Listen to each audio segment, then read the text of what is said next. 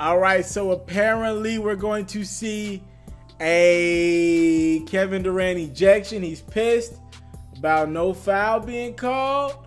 Steve Kerr, like, that's bullshit. Kevin Durant wants a foul to be called.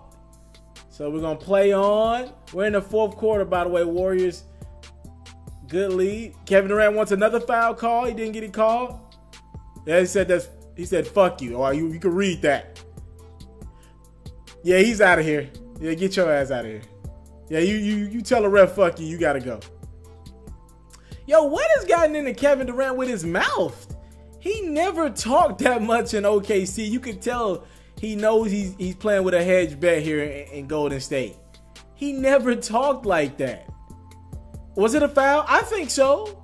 And I didn't watch all of this game. But I mean, damn, Kevin Durant, it's nothing to be crying over. He got two techs. Yeah, they got him out of here quickly. If that was a close game, that would have been bad. Yeah, they got KD out.